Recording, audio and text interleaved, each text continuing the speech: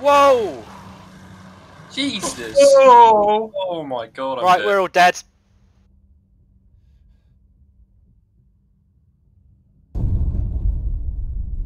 Oh what happened? We just got T-boned by like a uh, car going full speed. For God's sake.